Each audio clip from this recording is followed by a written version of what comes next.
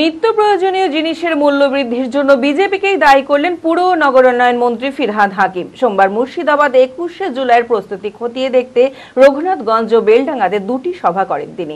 বেলডাঙ্গা সভার আগে বহরমপুরের সার্কিট হাউসে সাংবাদিক বৈঠকে তিনি বলেন, মুখ্যমন্ত্রীর তৎপরতায় ট্রান্সপোর্ট দিয়ে নিত্য প্রয়োজনীয় জিনিসের দাম কমানোর চেষ্টা চলছে, কিন্তু মূল্য বৃদ্ধির মূলে রয়েছেন বিজেপি। মানসিক স্বাস্থ্যের জন্য সবার আগে যে নামটি মনে ভেসে ওঠে, সুস্থ মনের ঠিকানা মনোবীক্ষণ।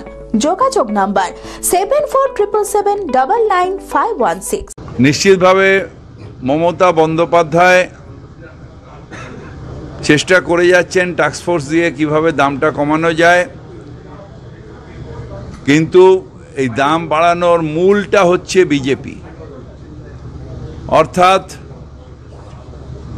ফার্টিলাইজারের উপরে জিএসটি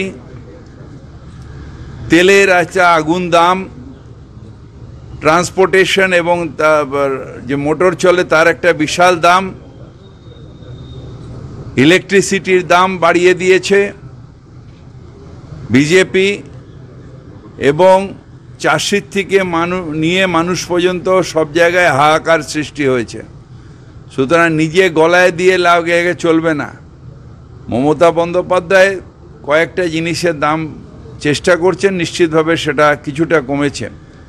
কিন্তু মূল্যবৃদ্ধির মূল কারিগরকে ভারতীয় জনতা পার্টি এবং কেন্দ্রীয় সরকার আবার কে? বিশ্বস্ত প্রতিষ্ঠান Auditone speech and hearing clinic কানে শুনতে না পাওয়া বা শুনতে সমস্যা।